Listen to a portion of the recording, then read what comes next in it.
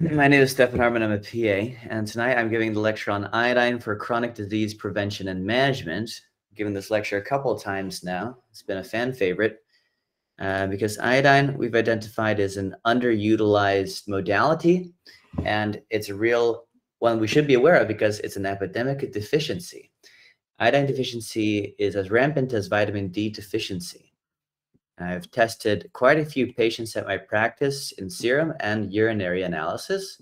In the serum, you can get this pretty done cheaply, 40 bucks at LabCorp, and you get a serum level of iodine, which really that just tells you if you've taken iodine in the previous day. Not a great test, but it can prove it to you, your, your own, you know, your clinical judgment to prove it that is uh, deficient in your population. So you can see here, most patients are at or below the reference range. So the reference range is 40 to 100 per LabCorp.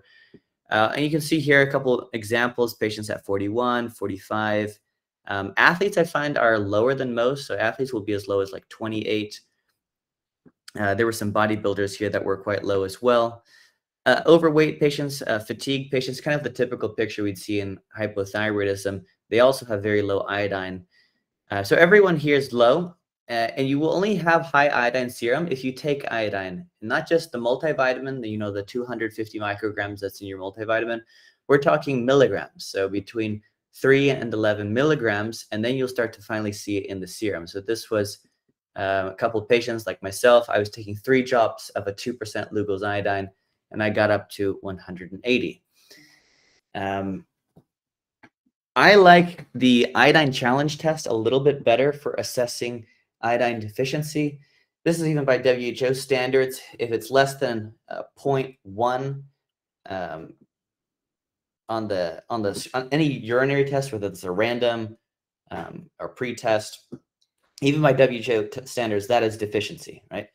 And we see pretty routinely, I've seen in iodine testing, is people are at that even that WHO cutoff of pre-test deficiency. But what this test does is you take 50 milligrams of iodine bef uh, before the test. You give a sample in the morning, you capture your pee, and then you put it in a tube. And then you do the pre-test. You take 50 milligrams of iodine, and over the next 24 hours, you capture all of your urine in this big orange container that you see here on the screen. You shake it up at the end of the test, you put it in the second test tube, and you ship it off to the lab, such as doctor's data. And they give you an assessment of your excretion rates, right? We'll talk a little bit more and we'll give you some uh, examples of what the excretion rates are. Let's go here. Now, you guys, after listening to this lecture, you're going to learn the power of iodine and how you can be a hero to your patients um, and how you can rapidly reverse diseases and improve symptoms by giving them iodine. We see this at Iron Direct Primary Care every day. Today, I just saw about six patients as follow-ups, and every single one of them felt better by taking a basic supplementation protocol of iodine, some B vitamins, selenium, um, and vitamin D. It's very simple to improve patients with this modality. So let's get into a little bit of why we might want to do this. One is the cancer prevention and iodine. So there's, I always tell my patients there's about five iodine sensitive organs that you guys can learn about today. It is thyroid, obviously, that's an iodine dependent organ. We all know that. But the lesser known ones our breast, um, ovaries, uterus, and the prostate. All of these are iodine sensitive organs. And in deficiency, they will start getting growths and uh, pains and so forth. But with iodine replenishment, you will see a decrease in incidence of these diseases. And you'll see this in populations like the Japanese populations and Koreans because they consume more iodine, which we'll see a little bit later. So I'll give you some examples here. We're going to do a lot of case studies because I got a whole lot of case studies. This is a 60-year-old female medical doctor. She has breast cancer and she wanted an integrative approach. She didn't want to do conventional approach. So part of that process for her was obtaining this test from me.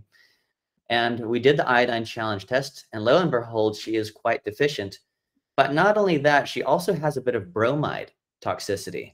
So her bromide in the excretion sample um, showed about 6.5 milligrams, where the reference range is below seven. So this poor lady, she's living with a bit of bromide in her body. And only by taking 50 milligrams of iodine is she able to express this bromide. And we'll get into why that might happen a little bit later. Iodine is an element on the periodic table, as you all very well know. Uh, it was isolated in 1811 from the ash of seaweed. Of course, seaweed is full of iodine. Uh, the Greeks understood this. Uh, they call it is uh, iodes, meaning violet color. Um, potassium iodide was used as a remedy for goiter, Derbyshire neck back in the 1800s. And then it was added to the salt because back in those days, goiter was a real big problem. So they added iodine to the salt to prevent the goiter. And I was taught in school that goiter doesn't happen anymore. I don't need to worry about that, which we're not is not true, and we'll see that very shortly. So here's another case example. This is a breast pain case. 12-year-old girl, she's complaining of breast pain. I advised her to paint a Lugol's iodine. This is a liquid iodine onto the breast daily, and the symptoms rapidly resolved within about three days. Uh, and this is not an uncommon uh, finding I see uh, in the in the blood. A low vitamin D, a low iodine because you know, people are not aware of this. So again, here's the that picture that we all saw in our training, whether it's PA training or MD training. You saw this picture of uh, an African uh, person, and they had a big neck, and they said, "This is a goiter, but this doesn't happen. You will never see this in practice because you're in a first world country." This is a patient of mine locally who had a, a ultrasound done of the neck because you know he thought he had cancer. I looked took one look at his neck. I said, "Buddy, you don't have cancer. You have a goiter." And I had to prove it to him with the ultrasound. So we now have him on high dose iodine therapy, and uh, this patient is getting better. We're going to repeat the ultrasound in a couple months after we saturate his body with iodine, and we're going to see his goiter shrink. So the other reasons why we might want to be doing iodine other than the obvious goiter. Um, autism and cognitive disorders. So there's a potential relationship between an iodine deficiency and these behavioral and cognitive uh, problems that we are seeing more often. Again, I was taught in school that this was cretinism, and this is something that only developing countries have a problem with, is low IQ children. But we see this more and more often now is behavioral cognitive issues in children, and uh, the iodine deficiency affects children uh, as much as adults, if not more. So one thing we have to recognize, now this is for Dr. Halasa, who really likes mechanism of action. What you will see when you start putting your patients on iodine is you will get a TSH increase. Now, why does this happen? Well, it's because your body is finally getting back the nutrients that it needs to produce the thyroid hormone. So do not be alarmed when you give your patient iodine and selenium and their TSH goes up. This is a good thing. This means that their body is finally getting the substrate that it needs to produce thyroid hormone. So we do not dose anything off of a TSH, and everyone here at A4M and uh, Clearfields Group knows this. This is a 30-year-old female patient with recurrent infectious cyst formations and elevated IGF-1, and she is now doing a Lugol's iodine. And we are now finally seeing her IGF-1 go down to 296. And previously, um, had been with 300s consistently above 300s. And She was having recurrent infections, cystic uh, growths, etc. Um, she's getting these tonsillar abscesses. And if we go back to some of the mechanism of why this might be going on, when you give back iodine, there's a negative feedback loop with the pituitary, and the pituitary will calm down, and uh, you will see a lowering of the IGF 1. So not only the thyroid needs this, uh, but your pituitary will respond to iodine as well. So why isn't iodine recommended more often by mainstream medicine and even us here at A4M? I have actually never heard it once mentioned at any of the A4M conferences I've been to. And patients will always ask me, is it safe in pregnancy? Is it safe in children? Well, let's talk about that. Placental tissue iodine levels and blood magnesium concentration in preeclamptic and normal pregnancy. What they identified here is that the placenta of the female patient that had the preeclampsia, meaning the high blood pressure in pregnancy, a very dangerous condition, was an iodine deficient placenta. Thus, uh, you need to give women, uh, pregnant women, ideally before pregnancy, iodine because magnesium assimilation is known to be defective when iodine levels are insufficient. So perhaps the preeclampsia isn't so much a magnesium deficiency. We all know the treatment for preeclampsia, you give them IV magnesium. But perhaps we could prevent the entire emergency situation if we gave these women iodine and did not have uh, the medical iodophobia so much on the iodine. So this is the patient, another case example. She uh, had been struggling with hormonal imbalance. I hear this so often. Uh, you know, difficult cycles, painful cycles, random cycles. Uh, um, you know, what we call premenstrual dysphoria. These names that we give for women with crying and so forth associated with their periods. Um, and she also had very difficult with the weight loss. So we give this lady iodine. We gave her started 25 milligrams of iodine and she rapidly started noticing that her weight was coming off uh, quicker than we would expect. She didn't change any of her variables, and the weight is coming off. Um, I would assume this would be because she's losing perhaps some water weight. She's losing some of the estrogen dominance. Uh, she's she's moving this out of her system some uh, a little bit better, and her hormones are stabilizing. And we see this pretty routinely. These stories. Here's a bit more on the placental tissue iodine levels and the blood magnesium concentration in preeclamptic women. This study is the first to report lower placental tissue iodine levels in women with severe preeclampsia than in healthy women. Okay, I think we understand that now.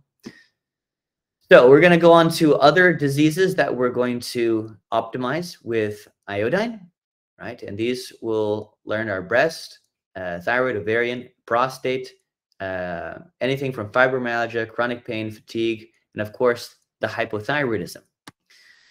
Let's talk about this. Now, Dr. Kathleen Ruddy got me onto this one. This is the mouse mammary tumor that infects human uh, cells. And Dr. Kathleen Ruddy wrote the book on this. Actually, you might want to read that at some point.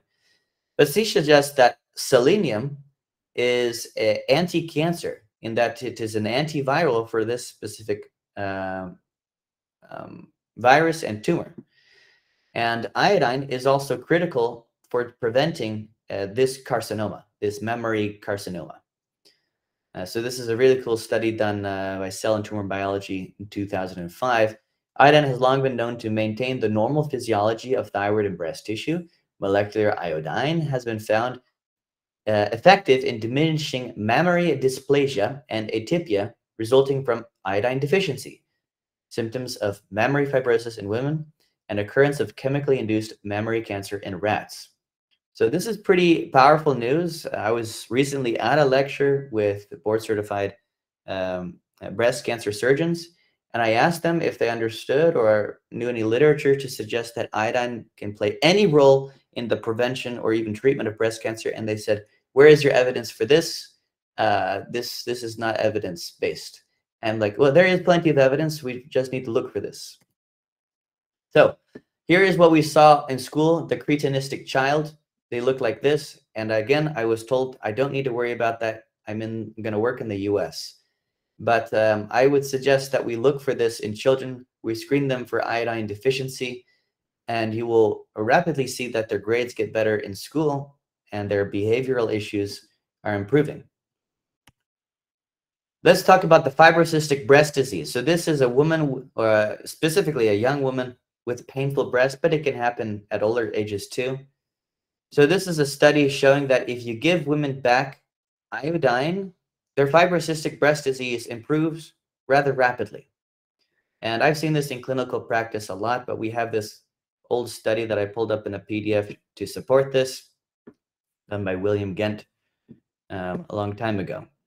And this was done on 4,000 patient, uh, over 4,000 patient years. We know what that means.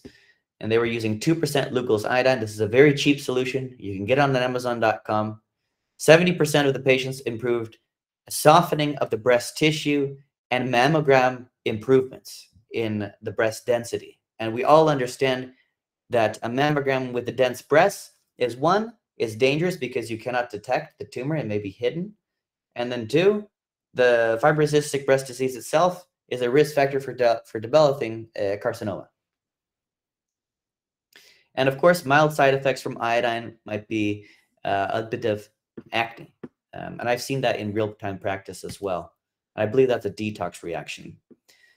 This is a patient who got a thermography done and was very scared and came to me. So thermography will also clue you in. You'll get patients, they'll get thermography done, whether you order it or not, but they'll come to you with these tests and they say, doc, what am I going to do? Well, if you look at the thermography scan, it will often say, okay, this is an estrogen dominance and you should probably look for iodine deficiency if you read the fine print in every thermography scan, right? So we did the iodine challenge test for this lady and she had a, um, a significant deficiency. You identify a deficiency in these tests. After you give them 50 milligrams of iodine, you determine what dose they need or how much they held on to. So this lady, after 50 milligrams of iodine, she excreted uh, 30 milligrams of it. So that means she held on to 20 milligrams of iodine because the body is intelligent and it knows it needs that much. So she held on to that much. So we're giving this lady higher doses of iodine and she will repeat thermography or do an um, uh, mammogram to observe the improvement in the fibrocystic breast disease because uh, that's what she was having.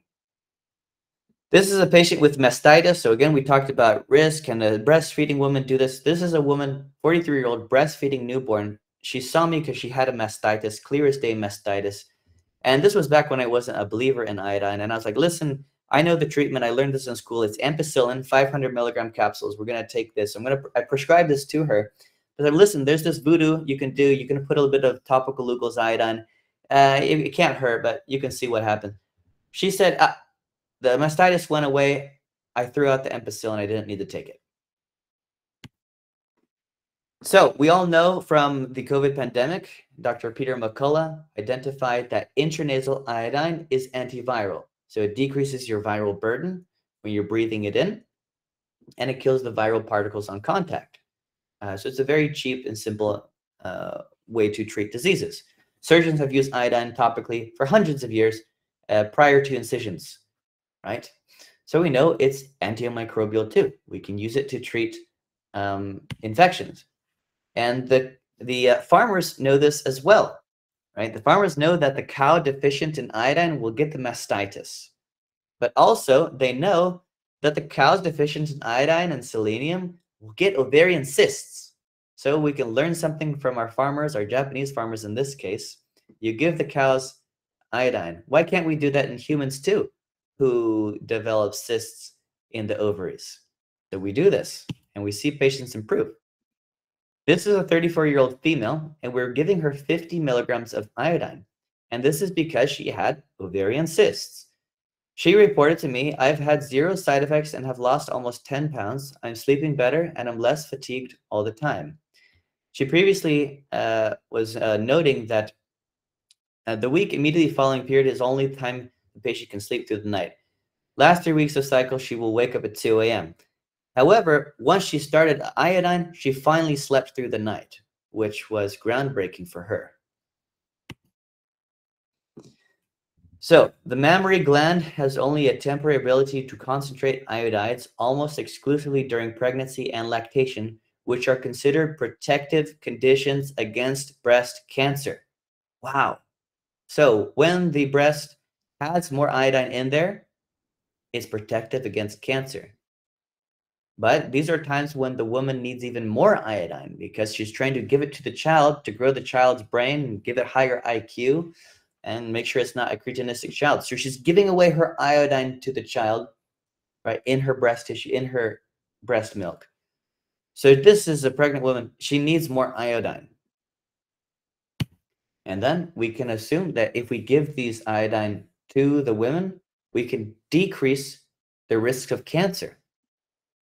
So this is a patient, 64 years old, on hormone replacement therapy, estradiol, DRT, progesterone. We started this for her, and she noticed the breast tenderness. And some of you docs out there, uh, maybe you reduce the dose, or you say, ah, it'll go away. But this is a warning sign that maybe she is estrogen dominant. She is accumulating too much estrogen in the breast. She is not processing it correctly. We give this woman back iodine, and lo and behold, the the tenderness went away. Numerous studies have demonstrated that while iodide is metabolically more effective in the thyroid gland, iodine is more active in the breast. Furthermore, iodine is required to maintain normal physiologic homeostasis and increased iodine uptake by the breast is critical during lactation. Normal breast function requires at time increased iodine uptake, which is likely hormone mediated. The relationship between iodine and estrogen metabolism also involves iodine affecting estrogen signals in the breast independent of the thyroid. For example, iodine diminishes dysplasia in clinical trials and breast tumor growth in rats more effectively than iodide. Well, you need both. You need both iodine and iodide. That's why the Lugol solution is so important, or the iodoral solution is so important, because it has both. The present results demonstrate again that there's a relationship between estrogen status and iodine excretion and suggest that there is a threshold for iodine required for maintenance of normal breast function in premenopausal women. I would say also the postmenopausal in hormone replacement. Thus, urine iodine levels may be useful in breast cancer risk assessment among these patients. So this is very important for you, Dr. Halasa, to add to your book. If you're talking about estrogen dominance, we need to be talking about iodine because the two cannot be discussed without the other. So iodine requirements of the breast is great, especially for the developing female. This is true. Many, even my sister uh, had this problem. Um, you know, painful periods, uh, breast tenderness, was reg- readily rectified with the topical Lugols and oral Lugols. This is a patient, she's 34 year old. She had ovarian cysts and chronic pain. We advised the patient to paint Lugol's iodine over the ovaries, and the pain resolved. There's another uterine case, a 30 year old female with chronic uterine cramps, premenstrual dysphoria, history of goiter, colloidal cysts of thyroid at old primary. The primary never spoke about iodine. She's always had to take NSAIDs for the period pains. She's done now about three drops of 2% Lugol's iodine, and it's the first time she can remember she has no menstrual cramping, no dysphoria, and no NSAID use. So we're sparing her kidneys here from the ibuprofens. This was her urine halide testing. You see she is quite deficient here, even by WHO standards and a random iodine sa sampling. But she also has 44% excretion.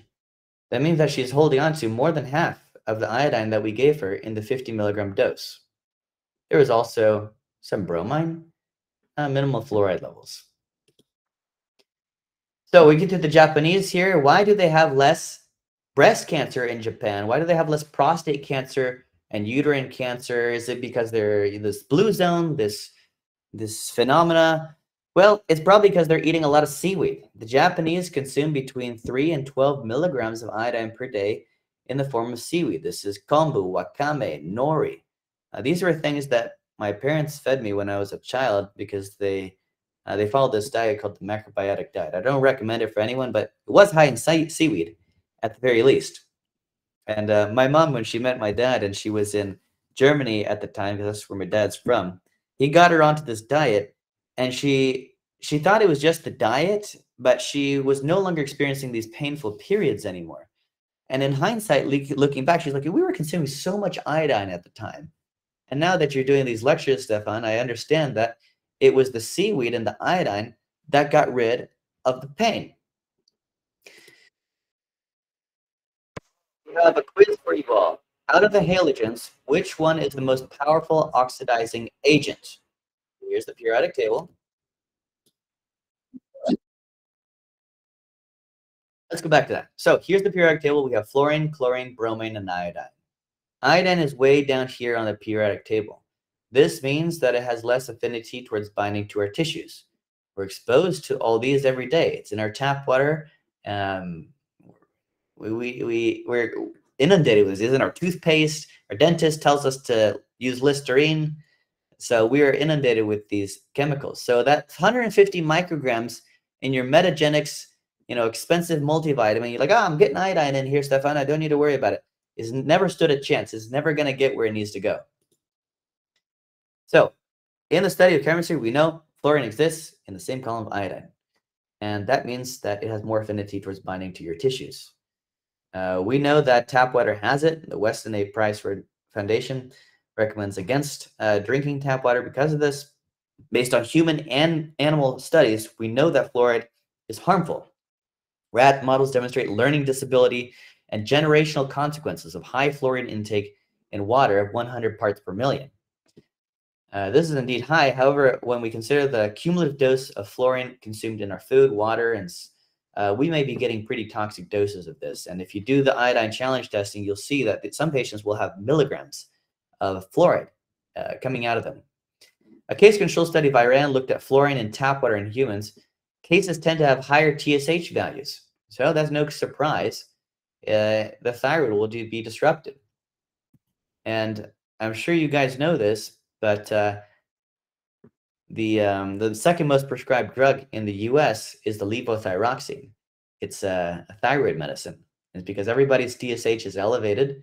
Um, it's not because they're taking iodine. It's because they don't have enough, and their body is screaming to produce more thyroid hormone. And what do we do as good practitioners? We think we're smart and we give them natural desiccated thyroid hormone, uh, NP thyroid. We know what we're doing here is better than the conventional. Well, even better than the conventional is giving them back iodine and selenium. You give them back natural to make them produce their own thyroid hormone. There's still some that still need uh, NP thyroid, but we can first cover our bases here and make sure they're maximized.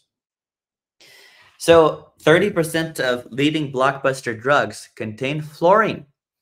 This is pretty easy to assess for yourself. We've all done organic chemistry. All you have to do is you have to go to Google and you have to type in the name of your favorite pharmaceutical drug and you have to look at the organic chemistry and you will identify the fluorine atoms on the molecular structure. But here are some popular ones. Crestor may come to mind. Uh, Flonase, the intranasal, um, you know, anti-allergy drug. So you can breathe fluorine right into your brain, sniff it into your pineal gland, cause calcification of your pineal gland with fluoride, right? Not great. Fluoride causes difficulty breathing, nausea, vomiting, hives, headaches, weakness, stomach upset, and of course, uh, inhibiting your iodine absorption to the thyroid, inhibiting iodine absorption to your breast tissue, everywhere. And of course, we know the terrible ones, the ciprofloxacin, the fluoroquinolones, is literally in the name. They're telling you that they're poisoning you. Fluoro is stands for fluoride. Um, that's why they're called fluoroquinolones. And voriconazole, unfortunately. Fluoride as it relates to the diabetic, there's a large body of evidence of the harms associated with fluoride. This evidence is not widely known. Um, so I recommend I can send this lecture to anyone later and they can look through all the, um, the harms related to fluoride if they're not convinced already. Um, let's see.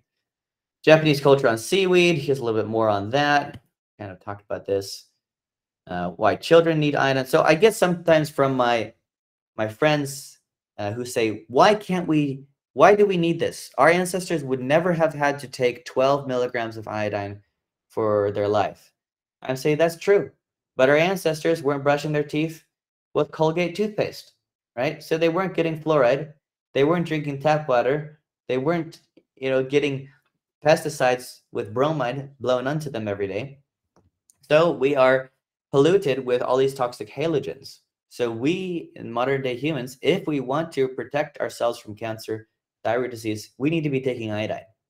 So the ancestral diet is deficient in iodine. So the meats really doesn't have that much iodine in there unless you're eating, yeah, shellfish and oysters. Um, but those have some problems too. So we just uh, take iodine. We'll talk a little bit about bromide here. We've beaten fluoride to death. Uh, this is a funny picture. Uh, this is I saw this in Florence when I was there. I took a picture of this guy. He had the buggy eyes. This is a lot of us in conventional and even holistic medicine think that iodine will cause uh, you know the graves, right? The the the too high thyroid, the high iodine, and you see the big eyes. Um, I would say this is not the case for the most part. And this can happen, but it's it's much more common to have hypothyroidism and the opposite rather than high thyroid. It's something, of course, we monitor for, but not something we, we see very routinely. So this is um, a grim report by, card by uh, bromide in our bread products. In India, Brazil, Canada, uh, European Union, the uh, bromide is banned, but it's not banned in the US. Um, I think they recently banned it, though. I might get to that. So I have patients that say, well, Stefan, can't I get selenium from a natural source like Brazil nuts? Because if you type into Google, your patients will do this, high sources of selenium, they'll find Brazil nuts. But what the Google doesn't tell them is that the Brazil nuts are full of bromide too. They're just very good absorbers of these difficult elements. Um, and it may be because the, the pesticide is full of bromide when they spray it on the Brazil nuts. So the Brazil nuts are absorbing all this bromide. And it's pretty toxic. So this was a 60 year old male patient and he was regularly consuming Brazil nuts because he thought, I'm going to get my selenium naturally. I don't need to take a supplement. This guy had 8.9 milligrams of a bromide in his urine after the iodine challenge test. I was like, buddy, we got to stop the Brazil nuts here. We're just going to take an a selenium supplement. Bromide in bread. Um, so why did they do this? Well, it was a anti-caking agent that the bakers, the processed bread manufacturers would put in the dough to make it easier uh, to mix.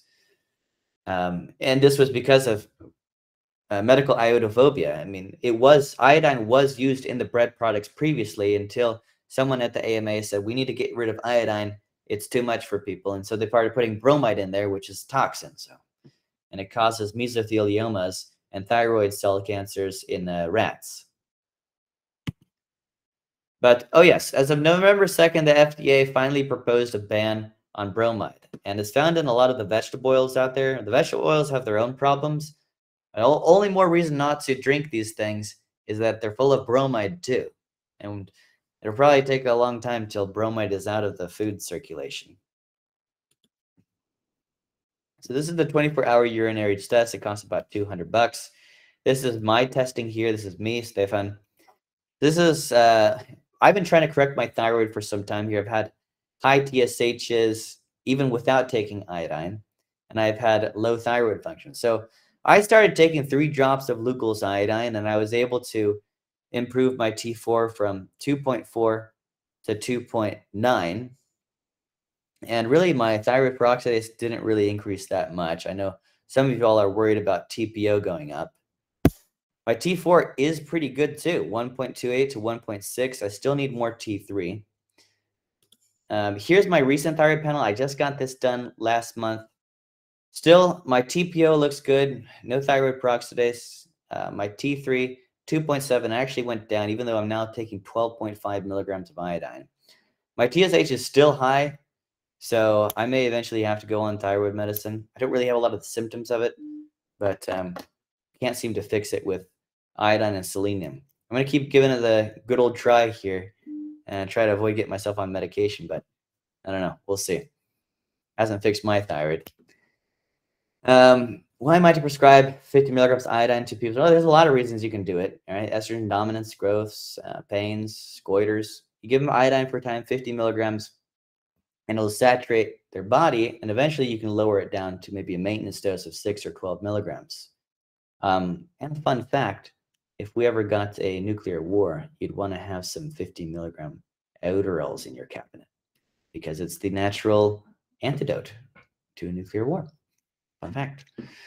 25 uh, year old female, post birth control with new onset hypothyroidism, family history the same. She was progressively gained more and more weight.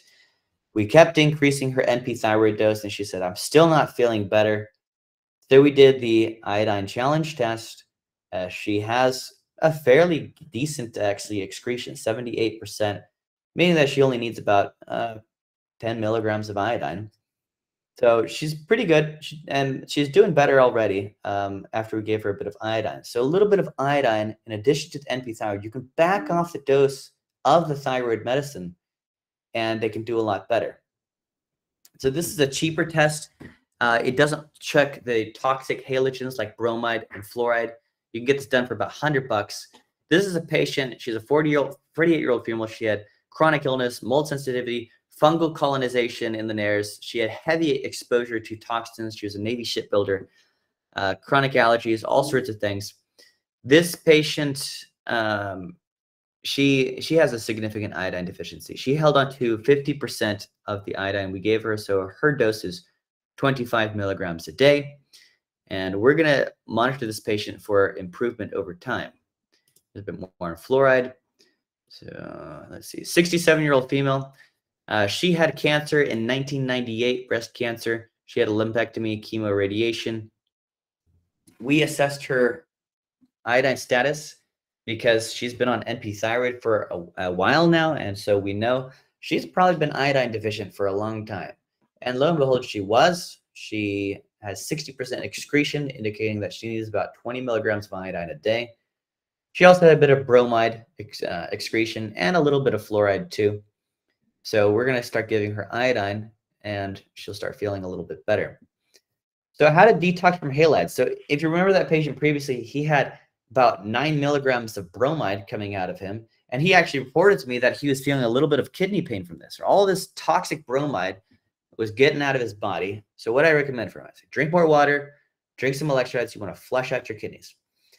Then, as Brownstein would suggest, Dr. Brownstein, you want to do some antioxidants. We all know about selenium. These patients on iodine need to be on selenium. About 150, 200 micrograms a day is plenty. You can get them on vitamin C. It's an antioxidant, up to six grams a day.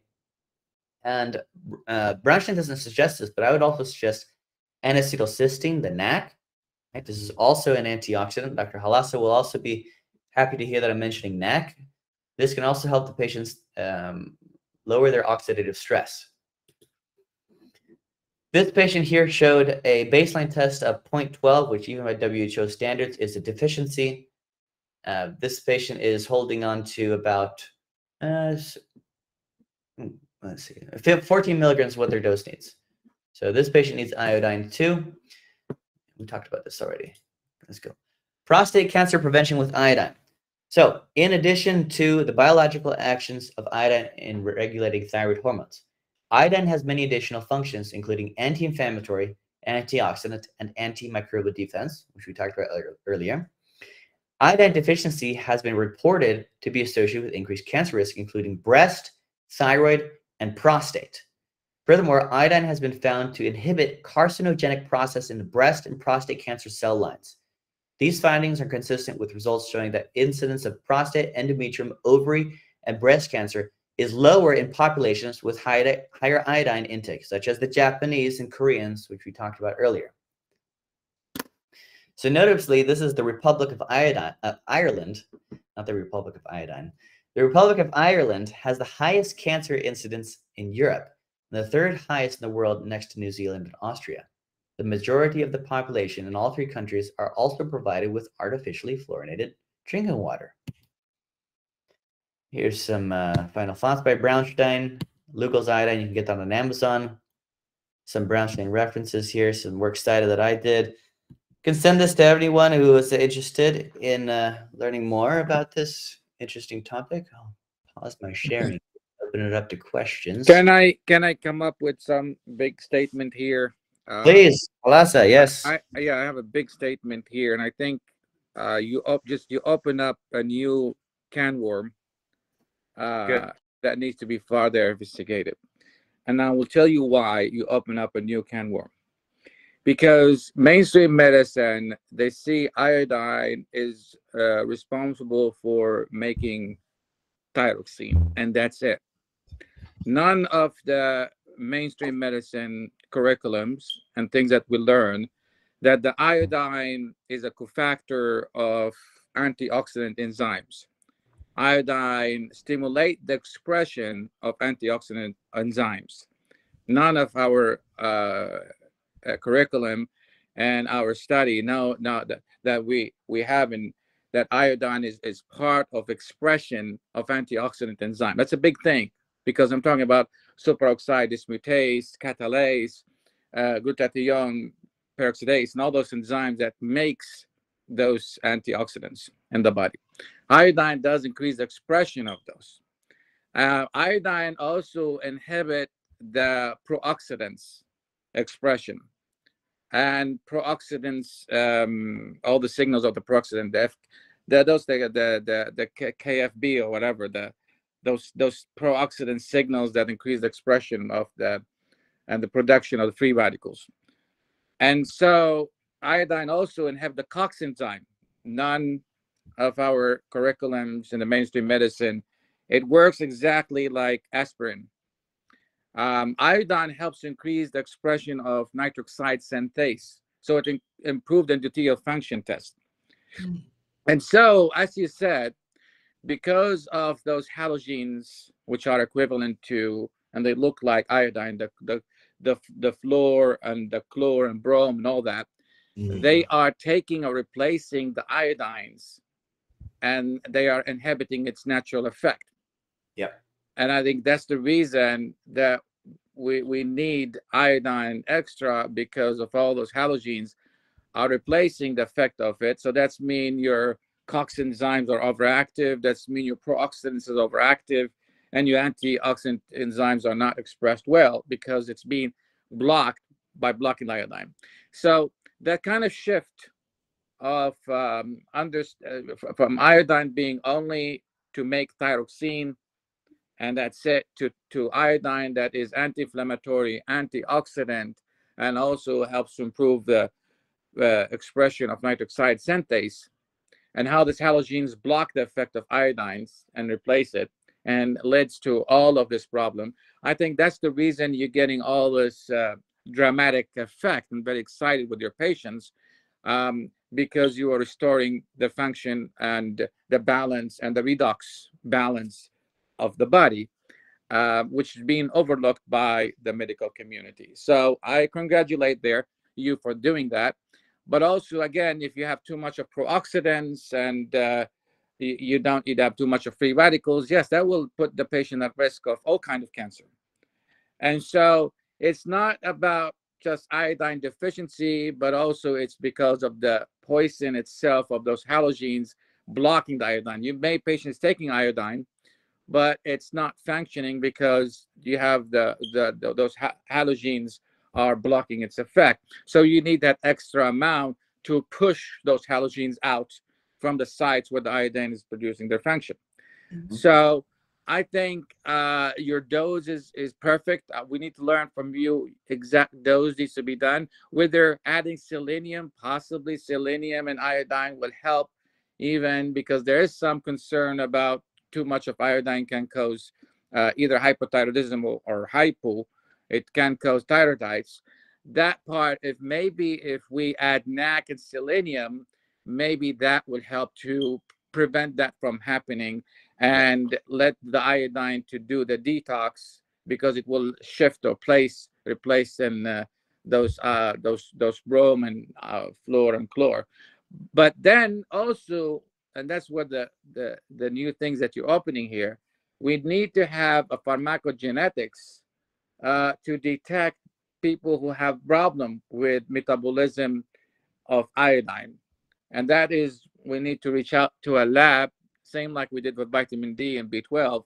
And so why the iodine is is is essential. I mean, this was one of the first things that was created on Earth. Um, I think it's integral towards our DNA. That there should be no problem with iodine. No, the what I'm saying is that the, the variations of uh, the, the the genetics between one individual and another, they may have problem with absorption, um, mm-hmm. a problem of metabolism, there are genetic variations that happen from any ingredients in your body. Like we have variations in dealing with vitamin D from one person to another, uh, and from other um, uh. So we need to have some pharmacogenetics to tell, oh, this patient or this person has a problem of metabolizing iodine versus this person has a very good uh, absorption and metabolism of iodine. So you may get some genetic variation there where pe- people with problem with metabolism genetically, they may need to have an extra iodine in their diet. But generally speaking, just because of the poison that we've been exposed in our modern life from this halogens, which is affecting the antioxidant and anti-inflammatory, which is the redox balance, and also the immune because you know it's it's part of the immune redox and metabolic because iodine is part of our body that we need to have. Um, so I think um, and and and the shift and even preeclampsia, you said it's preventing preeclampsia and all that because of the again iodine helps to increase the expression of endothelial of, uh, of the nitric oxide, so that's good for endothelial function, and that's something. So what I'm just trying to say the mainstream medicine of um, only iodine is for making thyroxine that's a that's a that's a problem that's the mistake and people need to know that iodine is part of the redox medicine which is antioxidant also part of the immune system because it blocks the cox and all those things uh, and it balanced the immune system. Um, and and that message uh, that we need to deliver it to to the mainstream medicine and to the doctors here, so they can understand that iodine is a cofactor of the uh, immune function and also a cofactor for uh, redox medicine. You yes. got my point here. I do, and I, I, think after watching this lecture and seeing all this case, these positive case studies that I've shown here, we can be a bit more emboldened to use higher doses of iodine because I know every one of you have been trained in school not to use iodine. We've been told all these it's bad, bad, bad all the time for for years now. Yeah, uh, the reason why they said that because they in the mindset of the mainstream medicine, iodine is to make thyroxine, and that's it. They don't know that iodine is a cofactor for expression of antioxidant enzyme for superoxide dismutase, for increasing the glutathiones, for increasing reduced NAC, for um, and also for inhibiting the pro-oxidant enzyme, the NFK beta. Uh, all of that is not. We don't have that that that information right? We know possibly selenium, we know it's part of antioxidant, but nobody is telling you iodine itself, by itself, it's an antioxidant, in addition to its effect on expression of, of the antioxidant enzyme inhibit, inhibiting pro-oxidants and inhibiting COX enzyme. Hear about that. And just by inhibiting COX enzyme, you're decreasing um, the risk of having cancer because overactive COX and those prostaglandins is, is a source of the inflammation that leads to cancer. That, that kind of notion it's not in the mainstream medicine yet. And so they don't see it as an antioxidant, anti inflammatory. But now, today, we know. And now we also need to find out if there's any problem who has pharmacogenetic, have problem in the metabolism of iodine in the beginning, genetically, that they have high risk of uh, having problem with with dealing with iodine and iodine is not functioning in their body and they need um, extra dose. True. I've countered a couple of patients and I always thought it's because they need to detox a lot of bromide and fluoride. So they need to go very low on the dose because they feel a little bit of detoxification and sometimes a lot of detoxification if they do too much iodine. So for these patients with the high toxicity of fluoride, bromide, we do very low dose, like one milligram. We work our way up sometimes.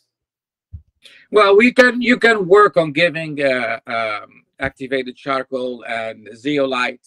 Possibly they may help to collate those halogens yeah. along with iodine. But I'm just saying is that the in addition to the environmental factor, it could be also genetically they have problem with metabolism of iodine, whether the absorption of pharmacokinetics. And that's the reason we need to reach out to the lab and tell them we need to know the pharmacogenetics of iodine for the patients.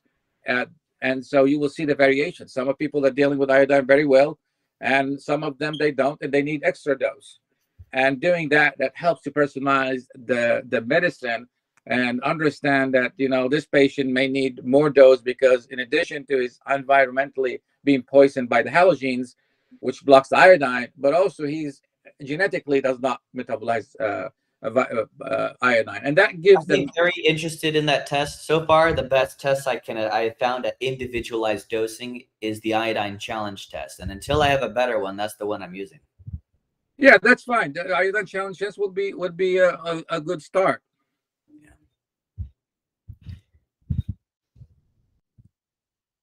And how often would you repeat that? And how relevant is the the the blood iodine test. The blood iodine test, I just did that to prove a concept. Um, it's just, you know, tested 50 patients. Everybody was deficient. I was like, well, everybody needs to be taking iodine. And then I took it the step further with the iodine challenge test and I determined that. But I don't always use the iodine challenge test. If the patient has an obvious iodine deficiency, say they have fibrocystic breast disease per mammogram or thermography, okay, they're iodine deficient and you just treat them and you will see that they get better with the fibrocystic breast disease. Or you have a female with a painful menstruation or they have an endometriosis. They are estrogen dominant and you give them the iodine and you will see that their symptoms improve pretty rapidly, usually in about the first cycle they will notice it. Um, so I don't always use the testing. It's, it's just clinical uh, judgment as well.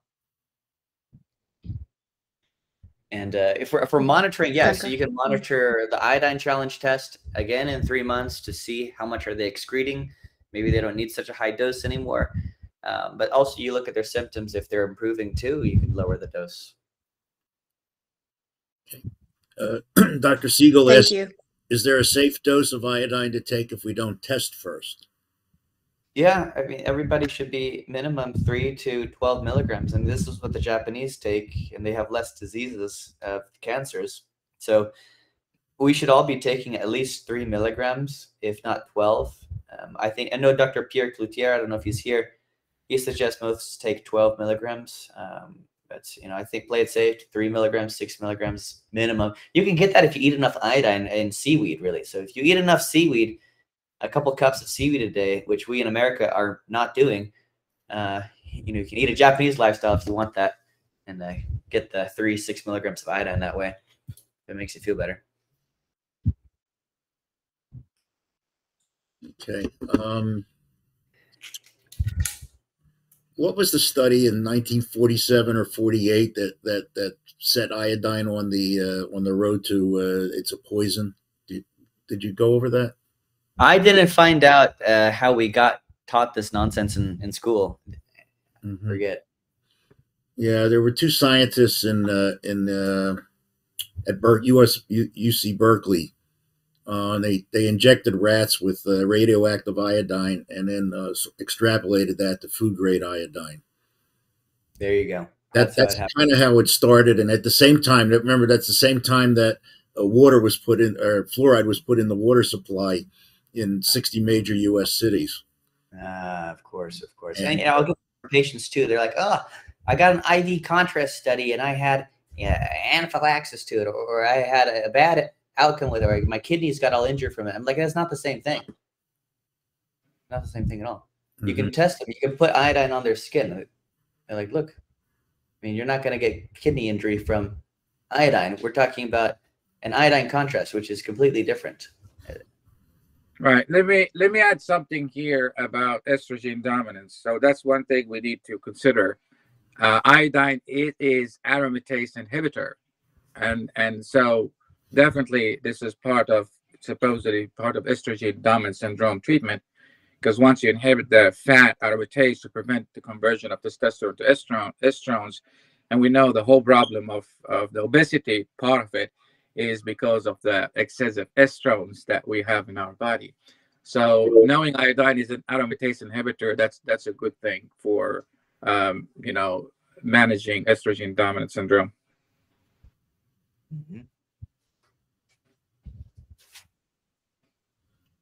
So, okay. Dr. Chandler states uh, fluoride is dramatically reduces IQ in kids. So, any any uh, comment on that?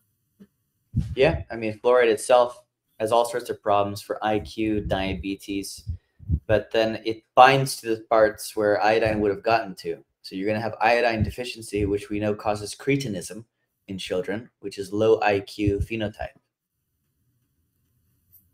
Yeah, I mean you need to have iodine in the childhood as part of the neuroplasticity of the brain, and with all this fluoride thing, it could be part of the autism.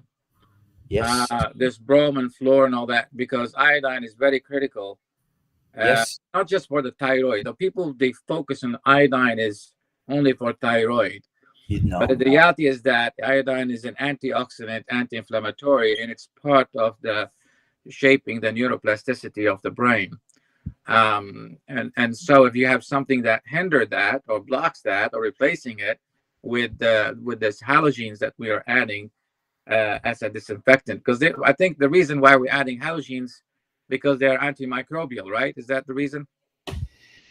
Eh, pff, who knows why? It- What it's the justification of adding brom and fluor with the water? It's antiseptic to kill the bacteria. the right? dentists, the dentists keep telling patients that it'll improve their teeth. That's Yeah, so it's it's it's basically antimicrobial to kill the bacteria of the pain of the mouth, but that can be uh, replaced with methylene blue, and you know, at least it's more safer than um, than the fluor and chlor. Mm. Yeah. Yeah, the kids need it. It'll help them grow. Mm-hmm. Yeah. Yeah. So, um, so what do you say? What do you say to the dentist now that the, you know, we- we- we're, you know, I, n- I go dentist. I go to a dentist that knows better. Yeah, they can they can they can treat gingivitis and uh, with, methylene blue. They're uh, Germans. They already do it. Uh, they they put the methylene blue and they shine the red light, and it helps to, you know, kill things and um, prevent the caries and gingivitis. I think that will be a replacement, and possibly iodine itself. It's it's better than fluor and chlor. They just give the patients uh, maybe mouthwash of Mhm. some percentage of iodine. Well, as long as it's not toxic dose you're talking about. You don't want to give toxic dose of iodine. Make sure patient is taking selenium and NAC. Yeah. Vitamin C, anything. plenty of water. Yeah. Right. Dr. Chandler, do you have anything to add? Doc- You know, Dr. Chandler's our uh, biological dentist. He's on there. Um, Yep. yes, can you hear me? Yes. mhm. There we go. Um, I was just gonna agree with all of that. The they say that the fluoride helps bind the calcium more tightly, so that the teeth don't break down as easily. Um, which may be true. It, it is it is somewhat true. Um, however, for the side effects and the health risk, it's it's not even close to worth it. Obviously. Um, but that stuff's just some of the most toxic things you can do to people calcification of the pineal gland. Um, I, I think it has a lot to do also the you know the fluorine and bromine and all these and how much toxicity is building up in the brain from the mercury fillings. I think there's a big correlation between you know those halogens and the mercury fillings helping bind into that fatty tissue in the brain. So I don't know. Bad bad stuff. Stay away from it. I, I think just add if, if you are a dentist, you can use methylene blue and does not stain the teeth, by the way. And you can shine the red light and, and you can even help to increase the qualification of patient to do even dental implants. Because one of the problems with dental implants is that they end up with gingivitis and and they fail. With the And so if titanium, they yes. do methylene blue photodynamic therapy, that helps them to qualify to do dental implants. Plus, continue doing it. Uh, it does prevent the gingivitis from happening. Well, and a big part of that is that most dental implants are done with titanium, which heat up about five degrees Celsius when you're on your cell phone, um, literally cooking the endothelial junction of the tissue and cooking the bone around the implants. We're starting to see a lot of bone loss and failures around implants since we've gone to 4G, 5G cell phones. Whoa. And now there's some animal studies showing that it literally just heats the bone up four to five degrees Celsius. They put that um, in people's backs and hips too. The titanium. Yeah, which that's a lot farther from the brain. And Well, they put so their phone in their butt. They put it right there in their oh yeah, yeah, good point. on the Yeah, hip. we just use the ceramic implants. The tissue stays beautiful around the ceramic implants. Um, you just don't see the gingivitis around the ceramic implants hardly ever. It's pretty hard. Yeah, we developed. If you're a dentist, it, it- Mike Beamer has uh, oral liquid methylene blue and also a piece of red light. Maybe that would help you in your in your work if you're doing any implants or any dental work Yeah, for we do lots of implants. We've we've done a lot of work. I'm doing some research with with the nano silver out of Canada that I think I talked a little bit about here. That's actually FDA approved.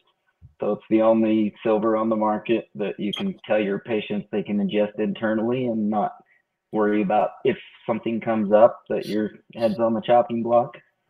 Um, and so that's what we're using in all of our equipment, putting all of our patients on it. Uh, But we do before and after bacteria tests, and in 30 days, it'll dramatically change the flora in the mouth. If if you're talking about safety profile, uh, we don't know about the pharmacokinetics of silver. Uh, it may deposit in the body, and the body cannot get rid from it. I I prefer methylene blue um, photodynamic therapy uh, because you can get rid from all the methylene blue and the urine, and the safety of it is way high than uh, mineral nanoparticle like silver and gold. Because I used to do silver also. But there is some questions about whether the body is getting rid from it or it's depositing in the kidneys and things like that. Um, and I find the efficacy of combining light with Methylene Blue is way, way higher than any other method, and it's more biologically friendly than any other way of, of doing it. So you maybe consider that. Uh, Mike Beamer is not here. He's a pharmacist. Uh, he moved from Amex to Wells Pharmacy. Um, something you may consider working with him because he has those little device for for the for the red light designed in the beginning for the dentist, but then when COVID hit, um, we shifted to to for the COVID patients, and we got very good success. But the beginning of it was the idea is to treat halitosis, gingivitis, and uh, help to prevent the um, gingivitis after um, hmm after dental implants. Hi, Dr. Clearfield. Yes, Dr. Gerber. Dr. Clear, yeah, those two researchers from Berkeley were uh, uh, doctors Wolf and Chaikoff. That's right. It was the Wolf-Chaikoff escape effect. Okay. I, well, too much iodine, you'll excrete way more. This was later debunked uh, uh, in many studies uh, in the uh, uh, 90s. So that Wolf-Chaikoff escape effect. Uh, yeah, my my my Alzheimer's is kicking in. All I can think of was Cloward and Piven, Piven Cloward, which is a political thing, but sort of the same earth kind of earthquake. So, um, So can we get safe with 10 milligram of iodine for everybody here in this room? Uh, can we go that safe or is that safe 10 milligram daily? Dr. Pierre Cloutier suggests 12 milligrams for everyone. Uh, he wrote a very good book you guys should read. It's called uh, Dr. Halasa, there is a 12.5 milligram capsules available. And Yeah. so, so Optimox has that. And I think Claire uh, Lab uh, is is distributing it. So so it is very good. Um, and if you if you are concerned about just tell patients to take four days a week or five days a week, so the total amount of ingestion per week can be reduced. Number two, methylene blue, when you give, you have to be very careful about the concentration because at the higher concentration, it does, does stain teeth, but at lower concentration, it doesn't. And then there are low intensity lasers, uh, red light 660 uh, wavelength is available, but it does not really get rid of the infection in the teeth like root canal or the uh, tooth implant. But if you use the the high energy there is there are some high energy um, lasers are available. And you if you use that constantly every day for for two uh, two to three weeks um, most of the infection goes away and there are there are multiple dentists are practicing in our area so so this is important information okay. Uh, one last Yeah, time. there's a little laser called Usui um, that's like 200 bucks on Amazon that has three different wavelengths of light, goes all the way up to, to like 900, 850, something like that, um, as well as the, the lower wavelengths. Um, they have one with a little intraoral tip that's curved. You can get it right into, you know, around the teeth or implants. Um, USUIE is the name of it. Um, it's a great little laser for the for the price point, especially. Um, a lot of times you can find it on Amazon even, but that is it's just like one to two minutes with the with the tip. It's it's concentrated, so it's less time. But that's a fantastic one that covers you know two to three different wavelengths of light depending on which laser you get. Is that a, um, a cold laser? Uh, no, it's a it's a hot laser. It gets a little bit warm. Um, the three wavelength light that has the little tip, um, it doesn't quite get warm enough to be uncomfortable, but you know it's generating a little bit of heat. Um, to get the cold laser, we usually have to go clear up to you know 2,000 to 10,000 on the wavelength, which is Mhm. you know, ten hundred thousand dollar laser. Okay. Okay. Uh, Oh, okay, uh, so- one more question. Well, I got it. I've got three daughter-in-laws who are pregnant, and I had heard years ago from Brownstein and uh, I don't know Flores or Sanchez, some some other guy back there. I can't remember his name. Um, about iodine in pregnancy and, and how much you can have these super high IQ kids. Um, that that guy had, you know, like a, nu- well a good number of genius level IQ kids over 20 years in his practice using this iodine. Um, I've got three daughter-in-laws pregnant right now. Would you generally accept that it's safe, going back to the previous discussion, that the 12 and a half milligram, you know, pills that you can that you can just get online should be more than safe enough? They're all super healthy otherwise. Yeah, get some iodoral, 12 milligram. Okay, there's a okay, there's a question. Can you paint iodine near the prostate and get the same results? Okay. Yeah, I just bought them all a bunch and have been trying to get them to take it, but I will renew my efforts. But one of my daughter-in-laws had read something online that iodine could be dangerous when you're pregnant, and that she was nervous to take it. And I was like, that, that's not everything that I've heard about it. I think it's one of the best things you can do. So No, it, it seems to prevent the, the preeclampsia. can't hear you. It, it prevents the preeclampsia. Are you Iodine. muted? Am I, I'm not muted. No, no, we can hear you. I'm not muted. Yeah, it prevents pre. I can hear you. Yeah, we can hear you. Dr. Scott, he's going to type the answer in the chat. Yeah, I I heard that. That's amazing. I would, I would, uh, for pregnant And women, I, I would do, two, I would do uh, um, challenge tests of my two daughters are both suffer from terrible uh, cramping and pain with periods so i'm excited to get them started on it as well for that Good. All right. And can you paint it on the prostate? I've never had a patient do that, but it has worked in other areas. We've used it primarily in women for mastitis, for ovarian cyst pain, for fibrocystic breast disease. you might be muted i can't hear you it works transdermally. Okay. Um, I hear him fine. Uh, I hear you fine, Stefan. Uh, So do I. I, I have no idea why you can't hear Stefan. yeah. So, can you hear us, Stefan? Yeah. Okay. Can Um, you hear us? Can you hear us, Dr. Scott? You may be turned- Chandler? You may have muted everybody. Uh, looks like he dropped off. So, So let me let me add something about um, Yes. people with uh, taking iodine and they end up possibly being poisoned from from shifting of the fluoride from their blocking sites, which is the toxic sites. Um, they can use zeolite. Zeolite is a chelation, is a best chelation for um, halogens in general, but Yeah. specifically for fluoride. So I think we need to recommend giving selenium, NAC, zeolite, along with iodine 10 milligrams, just to be in a safe side.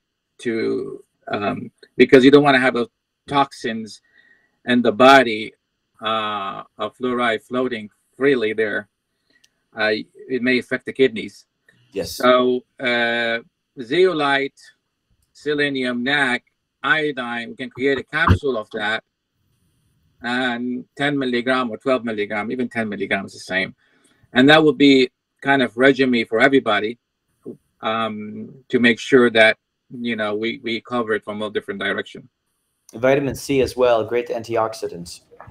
But you cannot get zeolite with the minerals because it will bind the minerals. So you have to separate that. So eh, I mean, you know, it, it's very good idea to to say you can use this, this, and this, but you, everyone should take home message that zeolite is going to bind to whatever molecules and particularly minerals has a great attraction. So so don't give that. Keep at least two hours away from from your nutrients. Yeah. Uh. Stefan, before before we uh, go, can you uh, just go over the uh, iodine challenge test once more? You know, where where you get it done, how it's done. You, you can get it done, uh, doctor's data. It's on Rupa Health. Mhm. Right. They have the urine halides. It's a is it a twenty four hour urine? Yes. Mhm. It's called, I'll copy it in. I have the tab open here. If you search on Rupa Health, it's called urine halides pre and post loading combo. You got to get them the 50 milligram iodoral too. Okay, Come separate. okay, great. Okay, and uh, okay, and so what what do you so you got that data and it shows that they have uh, iodine suppression. So um, It shows how much iodine they hold on to, right? Mm. So say I give Dr. Clearfield 50 milligram iodoral tablet. He does the challenge test. The next day he excretes uh, 50% or he held on to uh, 25 milligrams of his iodine. Okay, and is, is there a dosing uh, schedule from that? Correct, right? So Mm. if you held on to 50%, that means that you need 25 milligrams if you took a 50 milligram iodoral tablet. Okay, I can hear the screaming now from uh, the patients go to their other doctors and you know that we're going to kill them. so h- how do we answer that? Well, Yep. Uh, we get it now when I get when I give them uh, uh, the the, the uh, which the one we use, Joe? The uh, not designs for health. The uh, pure encapsulation has 170. I think it has 150 micrograms. Right, That's right. That's a drop in the bucket. Here's I, my I, I slides. realized that. So I've never had a problem with so far with one dose of 50 milligrams iodine. I mhm, think my dad he had a little bit of a, a kidney pain from doing that, but that was because he was excreting about nine milligrams of bromide through that process. mhm. Uh, and he, after that, we tried to detox him, but he has to go very slowly on the iodine. He's someone who cannot take more than like two milligrams. He's very sensitive to it. He's working his way up. It's a pure encapsulations, 225 um, micrograms. Yeah, yeah. And that's Yeah. what Marlene was asking is pot, potassium iodine good. So the iodoral comes with both potassium iodine, iodide, and iodine. It comes together. There's two. Amen. Yeah. Okay, great. You're together in room. Both. Yeah, I know that, that this thing popped up. It says "view together in room." We're still learning how to use this thing, so I'm not sure what the. I think once you do the challenge test, it should not be a problem about giving uh, giving the iodine because you have proven that patient is deficient. Mm-hmm. So so no matter what, whatever you you tell the mm-hmm. patient that it is you are deficient and this is mm-hmm. confirmed through the testing and you will need it and usually do you repeat the test in three months or what uh, or you don't Yeah, three months you can repeat the test, but usually I'll have them do a higher dose for a time, and then at three months I'll probably back off on the dose because we figure they're saturated. But you'll find that some patients they will tell you they need more and they feel better when they're taking more, and so we dose it based off how they feel.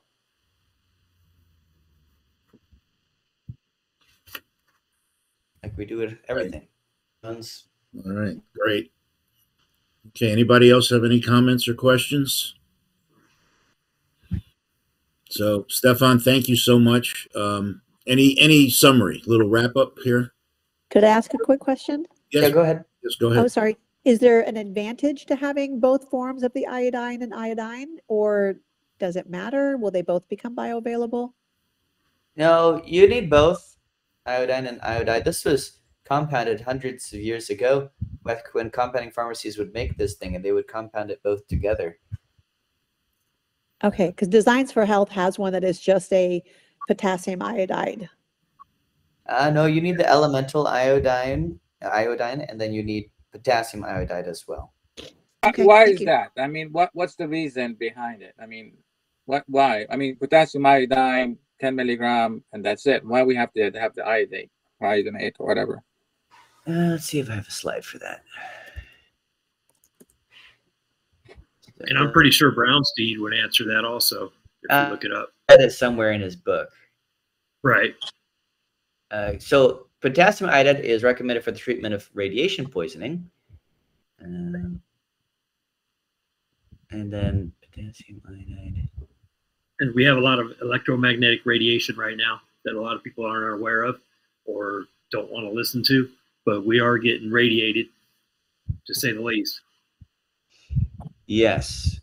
I think this is based off some studies. Like uh, this one study, if you go down to slide 23 on the, the 4,000 patient years study, they used a two, used a 2% Lugol solution. And they found that this one worked best to improve the fibrocystic breast disease.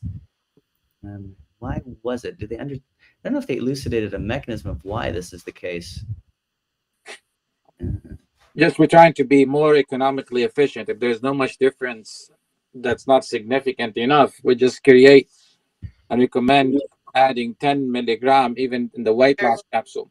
The study it showed that 70% of the subjects treated with sodium iodide had clinical improvement in their breast tissue, but the rate of side effects was high. 40% of patients treated with protein bound iodide had clinical improvement, and 74% of patients in the crossover series had clinical improvement. Uh,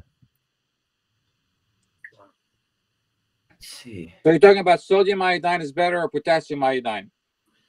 It looks like they had best results when um, they did the 2% Lugol solution, which is both potassium iodide and iodine. Iodine means that with the gluconate, is that what we're saying? What is the mix? Yeah, I believe there's a little bit of uh, a gluconate in the the. So iodine gluconate plus iodine potassium. Yep. Okay, how much uh, iodine gluconate versus what's the ratio? This is an old formula. Um, let me look it up. Jim Crow's. It's called the Jim Crow's. Jim Crow's Lugol's iodine. It's called glucose iodine. No, it's called Jim Crow's. It's one of the oldest. Okay, what is it made from? Let me see here. Because I'm gonna add it to um, to the weight loss capsule that we create. Yeah, 10 you milligram would not do. This one's a liquid solution. It all the Lugol's is a liquid solution. Is that gluconate iodine? What is it? Mm, Iodine, iodinate. What is iodinate? Is with with what? It might be proprietary. Yeah, maybe it's just proprietary thing. It has to do with absorption, but Yeah. it, maybe there's no much significant difference. And if there's not, we just make it easy for the compounding pharmacy because you know you're sourcing different two things. Uh, sourcing one is more cheaper than sourcing two. Uh-huh. It's made with distilled pure spring water. Okay. Iodine with distilled water, Yeah, spring water. but is there there's no salt, salt there? No, this is the solution that's uh, iodide, potassium iodide. Okay, Uh, so total iodine plus iodide is 2.5 plus 3.75 equals 6.25 milligrams in two drops. yeah, I think it's. I don't think it's significant difference between potassium iodide and this is just more of maybe absorption or something. Yeah. Yeah. I oh, Every day. That's what I do. what is that? I take in the tablet because once you get beyond six drops, it tastes too much like a pool water. Now we're gonna put 10 milligram in the capsule, the weight loss. Yeah, you can do that. Sodium, uh, potassium iodine, right? Not sodium, potassium. Yeah, do both. Put it in the capsule. It'll be good for weight loss. Okay. Stefan, anybody has used it post mastectomy on the chest wall uh, to prevent the recurrence, maybe uh, once every a week or once every two weeks, three weeks, four weeks? Yes, I Uh, have a lady with uh, old mastectomy. That was the case study from '98. Uh-huh. She we get her on the iodine now. She takes it preventatively. But not to put like somebody, uh, if we had a radiation, I have a patient with the radiation, and post radiation, she had some burns, and that has healed, but uh, there is some degree of pain or some not i mean one to two out of ten so something like uh, iodine paint on that uh, part of the chest would that know. help with the pain Skin is burned, no, because it would burn. It- it's uh, it's strong antimicrobial and it can be harsh on a burn. It, it stings. It's used as uh, and it inhibits wound healing. I always taught in my surgical rotations never to put iodine in the wound, the surgical wound itself, because it delays the healing of the tissues. no no it is it is already healed and it's like past few years but uh, but she's still concerned that there's some degree because sometimes it follows the fibrosis right so sometimes they have uh, some pain sensations and she's afraid because then they tell that oh you don't have a clear margin. So that's why they give them radiation. After radiation then they they have a post radiation burn and and second degree burn. So Why doesn't she just take it orally? that that would be good but i mean it would be if she has a pain there and if there's a scar wouldn't you think that uh, the local application would help like Mm. in a in a fibrocystic disease uh, Alan Gaby and all they suggested that to paint the breast with the with the iodine Oh, if she has iodine. this breast, yes, paint it on the breast tissue itself, yeah but also take it orally. Yeah. right right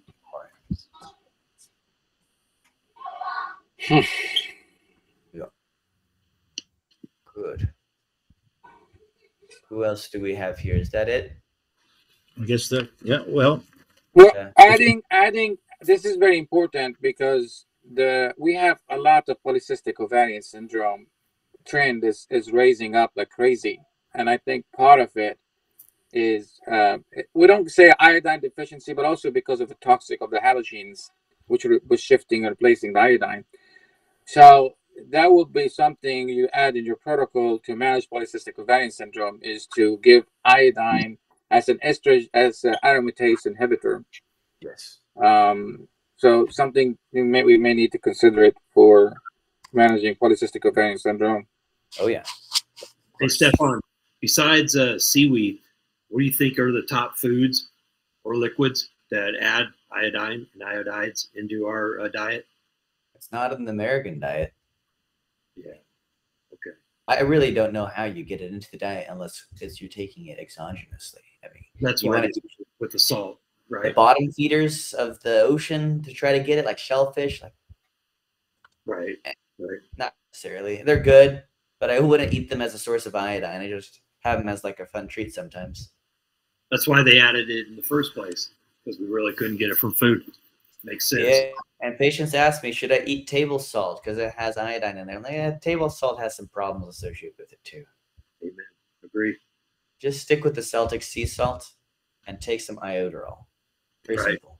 so there is, uh, Steve here says, uh, you took 12 milligrams of, uh, uh, iodine a few times a week and his levels went up to 2650. So you're measuring serum levels. So after you start taking iodine, don't measure serum levels. It's not. It's no way to assess iodine status. The serum marker is just a marker of whether you took the supplement in the day before. If you really want to assess your nutritional status, you need white blood cell assessment of your nutrients. Um, I just did this on myself last month with Vibrant America. It's a fantastic lab assessment to check your nutritional content of the cells. And white blood cell obviously is a one month average of your nutritional content. Okay. The urine test you did. Okay. Okay. Well, uh, it's a urine test. the urine test tells you two six five zero what was it milligrams per deciliter? Was it was it the doctor's data test? Was it LabCorp Quest? Like who? He's who checking. we- While he's checking, um, Dr. Burgess had a question on trace minerals. Yeah, just in general, what's your, because I think iodine's important, but I also think people die and animals die because they don't have trace minerals. What's your opinion? Yeah, I take some every day. I have a selenium with it from Trace Minerals, uh, and I put that in my water, and it has a bunch of other trace minerals in there. I think it's great because all our water is depleted, and really we should be drinking depleted water essentially by proxy because it doesn't have fluoride and bromide in there. It's filtered, but you need to put the minerals back in there. So all my patients they take element electrolytes, which is 1,000 milligrams sodium, 200 milligrams potassium, 60 milligrams magnesium, and they're drinking one or two of these throughout the day in their water. So they're putting electrolytes back in their water, which makes them, you know, actually absorb it a bit better. Their cells perform a bit better. They're not swollen because they're not depleting themselves. They're not making themselves hypotonic. Right? They're normotonic, right? Uh, and then a bit of extra trace minerals just for added benefit. Sure. You did an iodine random urine 2625 again, uh, that would be which uh, unit of uh, measurement. Um, so on doctor's data, you know, we'll get um, an assessment of milligrams over 24 hours. So a patient who takes 50 milligrams of iodine, you know, we check then how much of that iodine is less left in their urine excretion after 24 hours. This is 24 hour assessment, not a random test either. And, and that's the way to assess it that's the WHO way to assess it. Really, it's, it's 24 hour urinary excretion of, of iodine.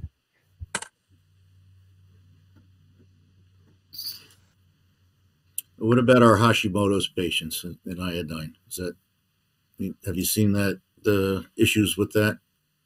No, the Hashimoto's, the the low thyroid you're talking about, Low thyroid from the immune system, you know, immune def, uh, they need iodine and they need selenium as well, and their thyroid function will improve. Okay. The Hashimoto's is most likely, um, you know, the, their their low thyroid status is because lack of iodine and selenium over many years caused their thyroid to shut down. Well, you know, something triggered their immune system. That's, that's Right. Probably the bromide in the bread products. That's why I think it might be triggering. Glyphosate and bromide in the bread. Th- th- th- those of us who are old enough to remember, we had white bread delivered to our house, uh, two or th- I think three to two or three times a week, and the best part was the crust. Right, that's where the bromide was. That right? It's in the crust. yeah, the bromide was in the crust, and and uh, you know, I mean, it was soft white bread. It wasn't wasn't hard white bread, and uh, it was delivered. I remember it was delivered to our house when I was a little kid, and and uh, you know, it was fortified with uh, you know, it was fortified with vitamins. So it was, uh, you know, it was the best, the greatest thing. Well, it, it was sliced bread. That's that's what it was. That's where that expression came from. Amazing. Yeah, it's So pretty it's toxic. put micrograms per liter as an iodine result. What if the the whole problem that A4M suggests? They say the wheat is the problem with the thyroid. They say cut out the wheat, but I'm saying it's the wheat that's contaminated with the glyphosate and the bromide. It's the wheat that's been superheated and the amino acids are denatured. It's the wheat that's been genetically modified. It's no longer an ancient grain einkorn flour. This is probably what causes the, the Hashimoto's, the autoimmune thyroid, and all the autoimmune diseases. It's not the ancient grain itself. That's why people, when they go to, I think it's France, uh, Italy, other countries, they don't they don't have the problems because they don't do that to their wheat. Uh-huh. So it, someone in the chat said it was 262.5 micrograms. So if you convert that to milligrams, it's only 2.6 milligrams you're excreting in the urine. Gotcha. So not that much if you're taking 12 milligrams of iodine. Yeah. That may mean that you're holding on to a decent amount, but I would still do not a random urine, I would do a 24 hour urine collection. hmm Better. I remember way back when, when I first started, uh, Terry Hertog had a, a lab in North Carolina that was doing 24 hour urines for um, iodine. It was the only place that you could get it done back then. And then that was his, uh, that was his uh, suggestion also. I don't know if they're still around, but you said Dr. Data, Doctor's Data has it, so it's easy to get to. Easy to get ordered on Rupa Health or whatever. It's, it's easy. Mhm. Yeah, I tried doing it with Quest. I tried doing it with, and it's just can't make sense of the results. So I know. Okay. Um, so Steve has the range they have there is 34 to 523. So Uh huh. Well, So, I'm not sure. So um, yeah, you also- you can't make sense of the results with Quest. They give, don't. give us a little summary, Steve? Uh, just wrap wrap things up. Basically, everybody is iodine deficient, especially women, and they will tell you if they tell you they have painful breast, painful menstruation, if they have painful periods. Um, this is clear iodine deficiency. You do not even need to test them. You give them iodine immediately, and you will see within one cycle is their symptoms go away. Their painful breast goes away. They don't have painful cramps uh, their period starts getting regulated again. Uh, and you'll see this quite in men it's more difficult.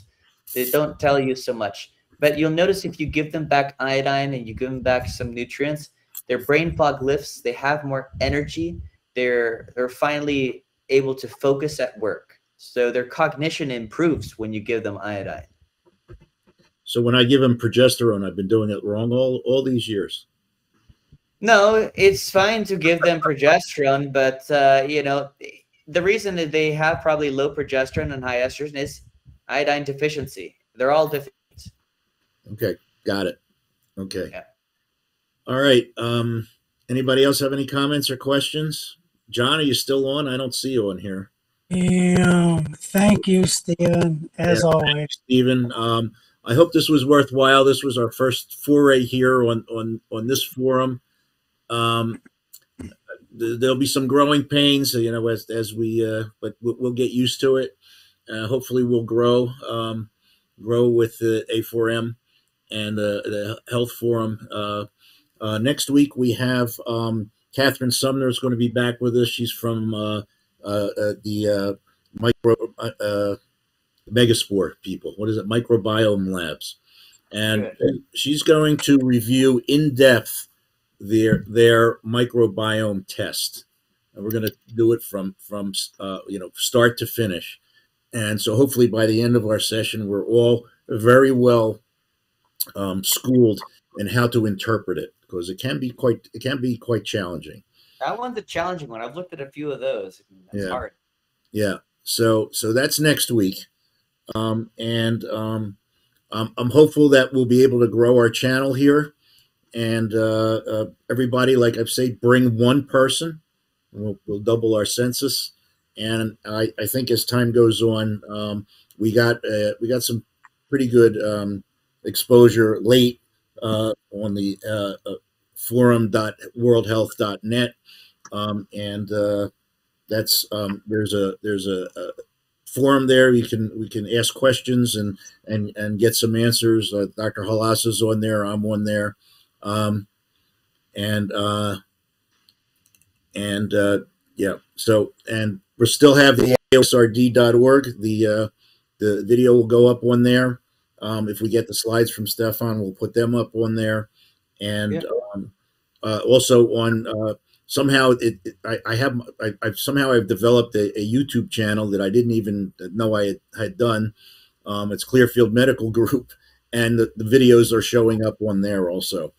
Um, so it's on there. Most of them are on YouTube. Uh, so um, if anybody has any comments or questions before we go, Stefan, a great job as always.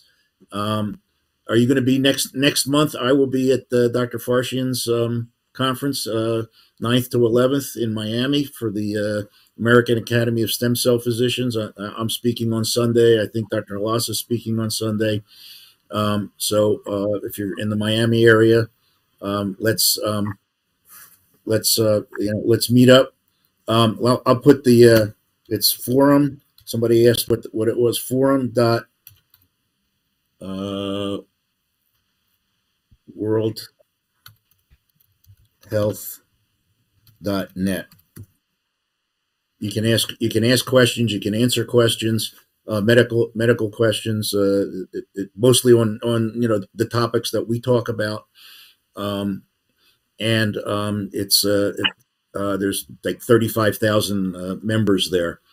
Um, so um, thank you again, Stephen. Uh, Stefan, uh, Robert Stewart says thank you. Great information.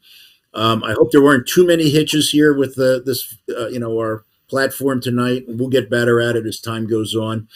Um, and uh, we'll we'll get it down uh, to a science like we had with the other one. Um, uh, John, anything anything news from the medical school? Everything's 100% positive. Thank you. Okay.